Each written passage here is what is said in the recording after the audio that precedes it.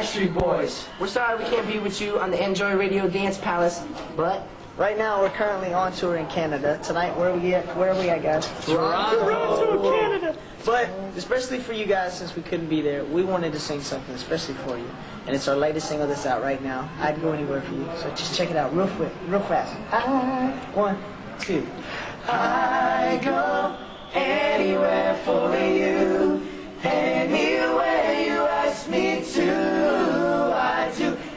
anything for you.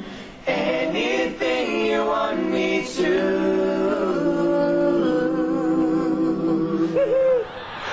We miss you guys, and we're gonna see you again real soon because we got some open air shows coming up. As you can see from the poster, our heads are floating. We got uh, one coming up in Hamburg.